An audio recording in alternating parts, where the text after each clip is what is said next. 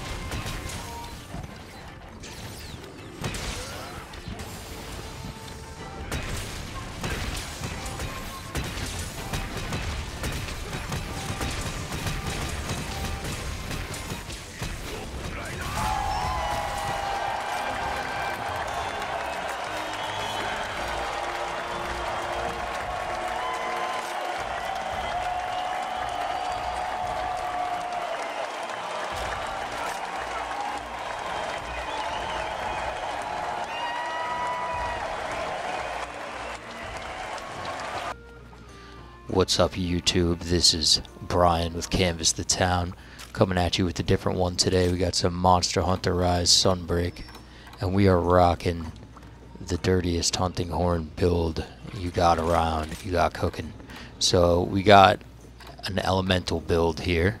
We're using that that brand new Valstrax armor that really, really uh, does a lot for hunting horn and for pretty much everything. But let's take a look here at some of the different builds. So the main skill that you need obviously is dragon conversion. I'm optimized here with some really lucky uh, curio crafting, qurious crafting, excuse me. And we got, you know, level 3 Furious. Uh, we got level 3 Strife. So we get these big elemental boosts.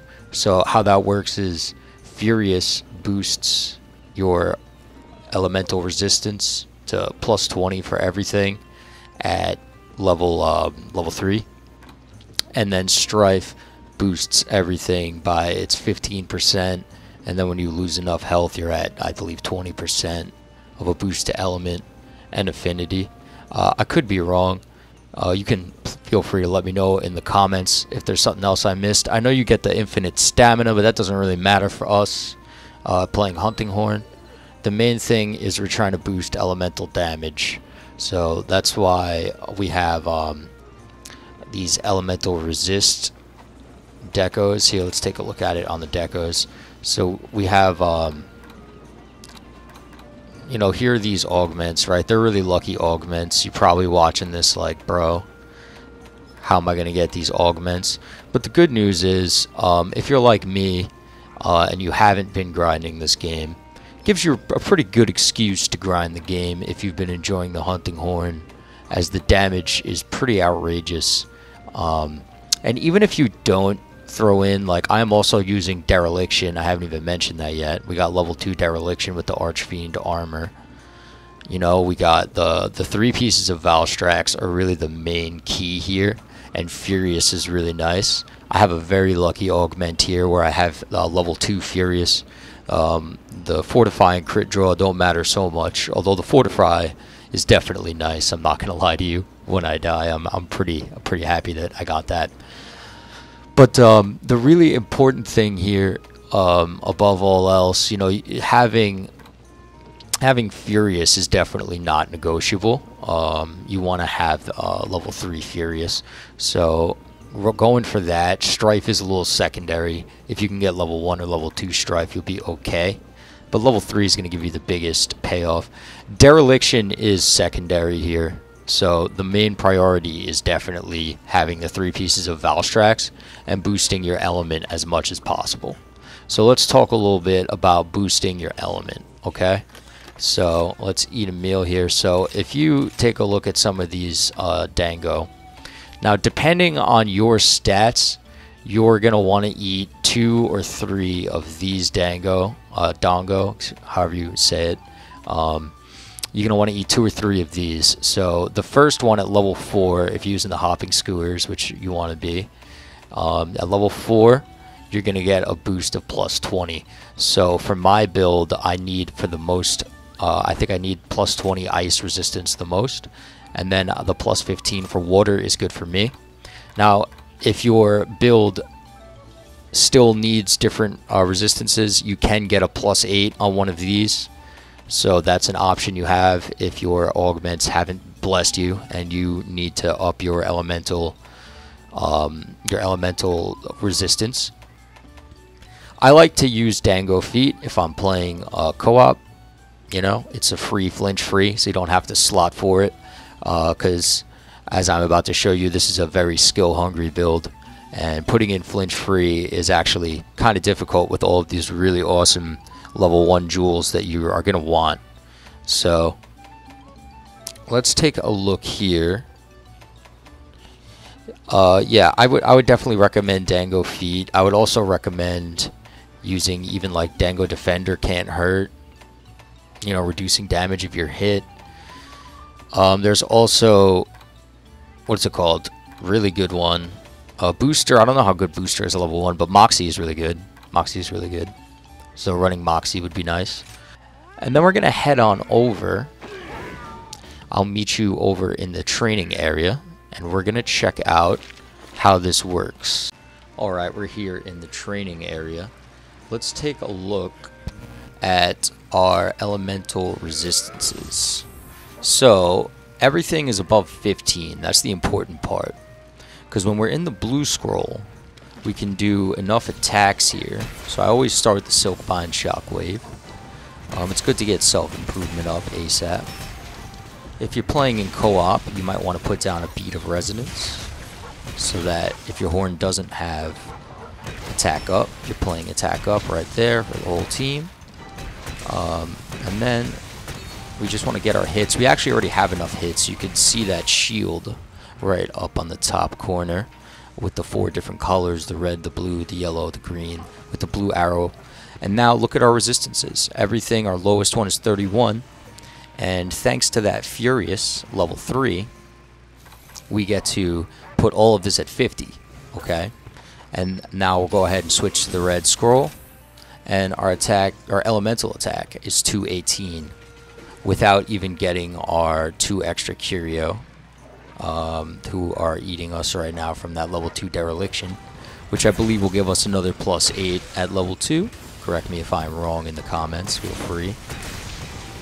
There's definitely a lot of stats going on here um, that make it difficult sometimes I screw I screw up some numbers and stuff. So please please let me know or let the people know in the chat.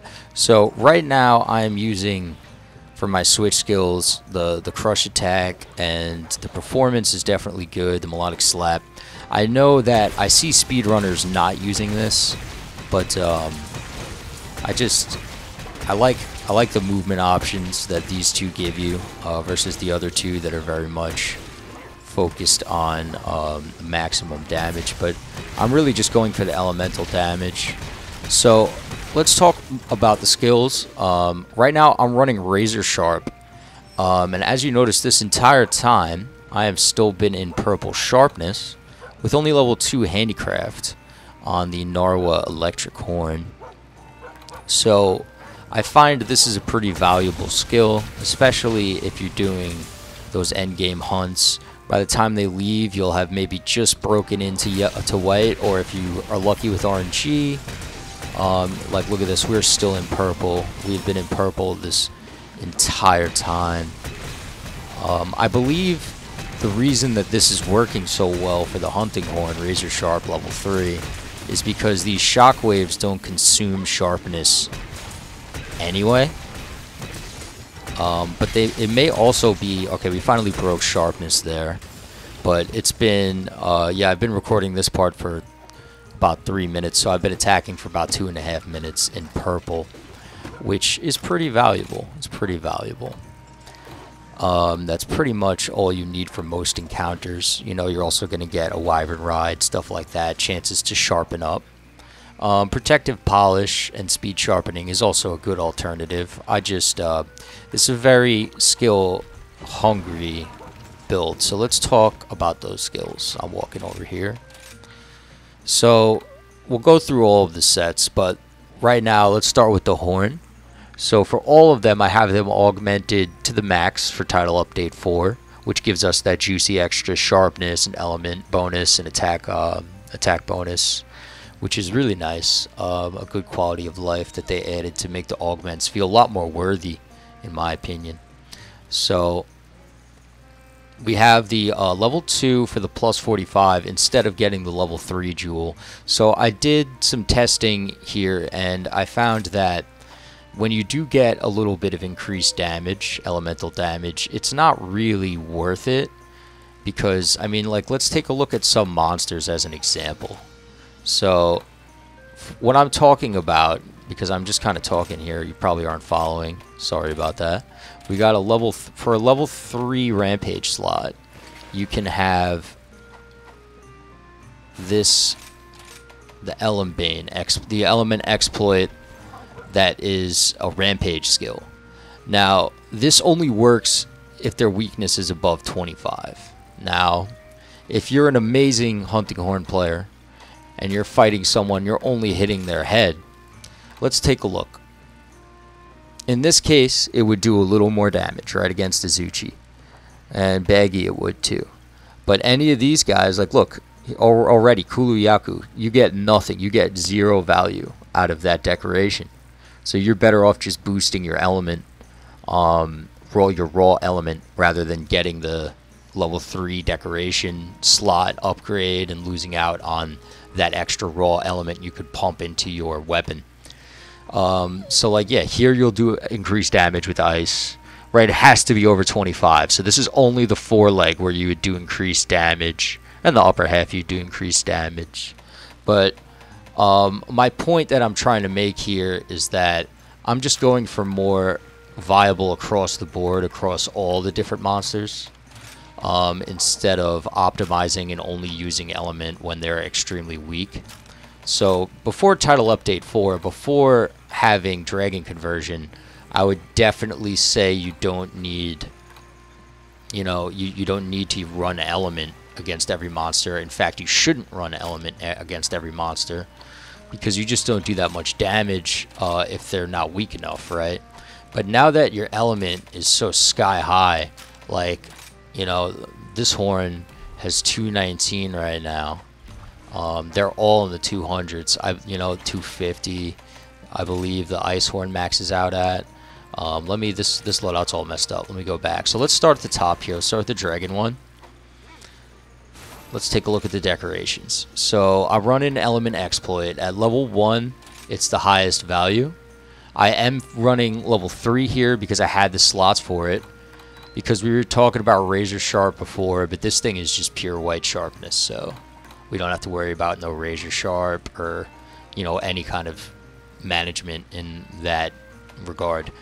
Uh, again, we have the level 2 slot instead of the upgrade, and we have that 96 raw element with our augments. Same exact augments across the board. We always max our elemental attack, right? Um, here I'm running a little divine protection, uh, divine blessing. Um, so these are greedy sets, right? And when you're building, you might say, hold up, I don't need element exploit 3 as much as I need, you know, X skill. Maybe you want to slot, um, I don't know, something else. You want Divine Blessing level 3 instead. Or you want to get Intrepid Heart at level 2. Which is, this is a very valuable skill for any weapon. Um, to have as a level 1 jewel is really good.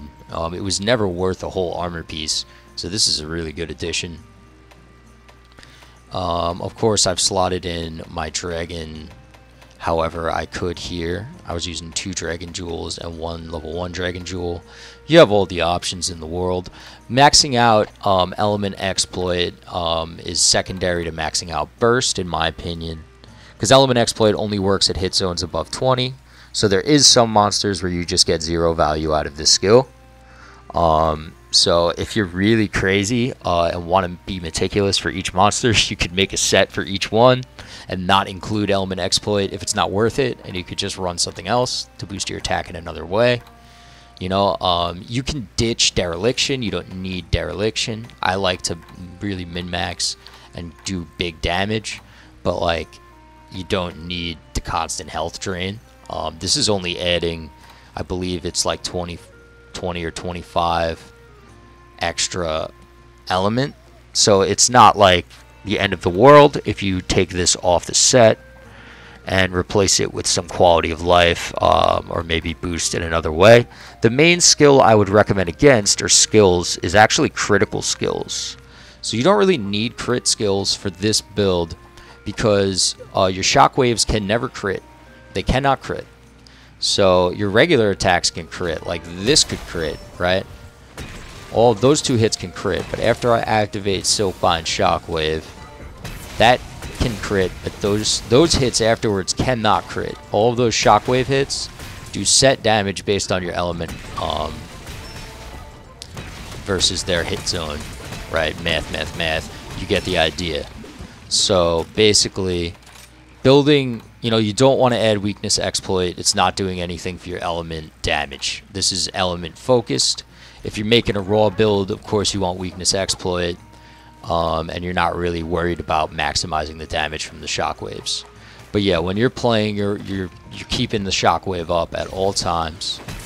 Um, if this the horn has attack up already, like this one, you can go ahead and use Sonic Bloom instead, but I pretty much never use Sonic Bloom because I'm always going for um, spamming those shockwaves.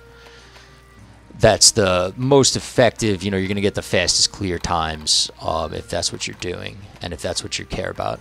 So, yeah, any other important skills? So, the main thing that I didn't mention here with the element resistances is that your augments will screw this up. Like you see, I have negative 7 fire resistance, negative 3 dragon resistance, um, you know, negative 7 thunder here as well. Um, and then I have some that are very lucky, so like I have some that have absolutely no negative effects. Like this one is just strife and a plus one to defense or this which is Furious and a plus one to defense. So these were regular like um, RNG rolls. Um, if you use the skills plus, you're always going to get a negative element. So you have to keep that in mind. As you can see, I'm running the thunder resistance, I'm running fire resistance, and I'm running dragon resistance is built into one of these pieces. I believe it is this one. There it is. Yes. Yeah, so this one automatically gives you that plus 20 to dragon resistance. So that's why I ate ice and water, like I showed you before. But that may or may not be, uh, you know, what you need. Because your augments are going to be different. Your resistance your overall resistance is therefore going to be different. So I needed to eat, you know, if we look at the status, Dango ice resistance and Dango water resistance. And just to show you again, that puts all my stats above 15. So that's all you need to think about when you're building. Um, how can you mix and match a combination of resistances in your skills to uh, resistances built into your set and how do you get everything above 15 so that you can go to the blue scroll, you can do your 30 attacks or so that it needs, and you can get your plus 15 to everything. And then you can switch to the red scroll, um, again, having Furious level 3 and getting to 50 on everything and getting that maximum boost, right? So here we are, everything's above. Switch my scroll and I'm doing 230, 243 after we factor in my burst, right? Um, and then, of course, Strife keeps boosting that. I mean, you really go into infinity and beyond, kind of like straight up cheese the whole game with this kind of build. And this really applies beyond Hunting Horn. Hunting Horn's a really good candidate because you don't, you're not hungry for other skills. I'm not even running Horn Maestro, but it would be, I believe, a little DPS increase if you wanted to slot that in somewhere. Um, my Talisman is also pretty good. Let's take a look, a little closer look at the Talisman. I'm running just Wirebug Whisperer. I got a level 3 one with a level 3 slot and a level 2 slot. Affinity sliding is not doing anything for me, but it's there. Uh, I like Blood Rite. It's a nice quality of life skill. Let's just talk about all the skills real quick from top to bottom. So Dragon Attack, this is going to be any elemental attack, right? Like I said, I'm running those three elemental resistances based on um, my qurious crafting results and just trying to get all my elemental resistances above 15. And then I'm running stun resistance. Uh, I tried to run stun resistance on all the builds. Some of them don't have it. Some of them have stun resistance on the horn. So you don't have to worry about running stun resistance as a skill. Um, Wirebug Whisperer is built into my talisman. This isn't too insane of a talisman. Like, it's a nice talisman. It's not like this, like, you know, attack boost 4, wax 2, 3 slot talisman that you're never going to get. Like, you're going to get something similar to this. And if it can just have three skills of a level 2 slash level 4 deco, like Wirebug Whisperer, that you need in your set, like, for example, if you had, um, you know, a Divine Blessing Talisman, and it also had a 3 slot and a 2 slot, or two 2 slots, you don't need the Blood Rite. I like the Blood Rite. It's actually an overall decrease in DPS with Blood Rite because you start to um, soak up your own, you know, you start to lose damage from Strife that way, but I like to not die. you know, I'm always, I'm not like the world's best player, so if I don't get that health back, I'll be dying. So, yeah, what like I said, Fortify is nice quality of life. We're starting in the top though. We got Sun, we got Wirebug, Furious level three for the plus 20 element resistance at, on the red scroll. Right, the infinite stamina in blue is whatever. We don't care about that. Um, element exploit level three could really be level one. Okay, you can you don't have to have level three, and like I said, for some monsters you don't need to have the skill at all. Although I don't usually take it off. And then we have burst level three. This is a very high value for increasing your element.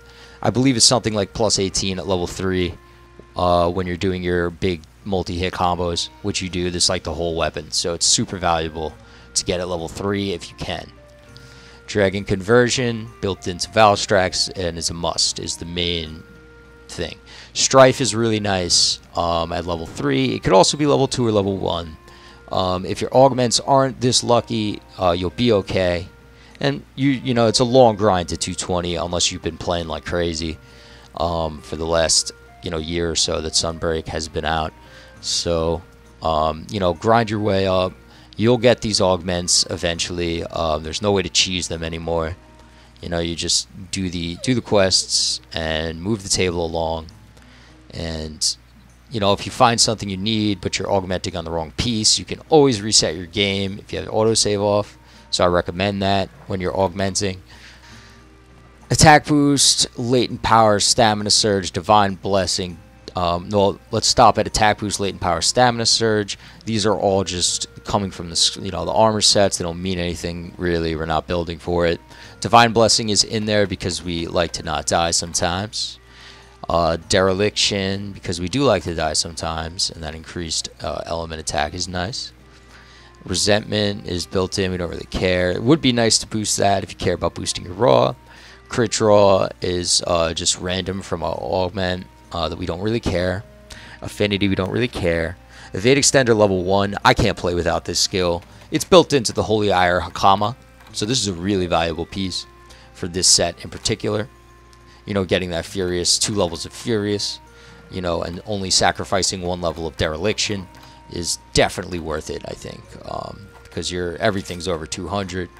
You're getting big boosts from 15% versus 5 more raw damage from level 3 dereliction, and you're getting that evade extender. It comes with level 2, so you can augment it down, hopefully like me, and land with Furious, and maybe even some better skills than Fortify and Crit Draw. And uh, yeah, uh, Adrenaline Rush, again, is a random augment. Blood Rite is nice, not necessity, but it's a nice quality of life. You're going to be grinding for a while before you get that if your anomalies, anomaly isn't above 180 right now. And then Intrepid Heart as well, you'll be grinding for a while. I think this one might be level 200, but a really nice quality of life. Uh, could be swapped for any other number of quality of life skills that you may want. Of course, um, if we go through all the other ones real quick, the only things that I'm not talking about uh, that should be mentioned that's very important is stuff like Kushala Blessing for your ice and water sets. For your fire set, you want the Teostra Blessing at level 2. Uh, Dragon and Ice, uh, I'm sorry, Water and Ice at level 2. Uh, Dragon, there's nothing else you can really do. You could run the um, the Dragon Heart skill, and then it's like a whole different set at that point because um, you don't need to worry about resistances at all. but like the way that the hunting horns work, like you're always getting health back, and then if you're doing curio crafting and stuff, it's not, um, it, you're not, you're gonna end up with ways to get your health above 80%, and you're just, you know, you're fighting, you're fighting these monsters that are built in to heal you as you hit them. I don't think it's a very good skill, but uh, yeah, so that's the basics of it. Hope you guys enjoyed the video.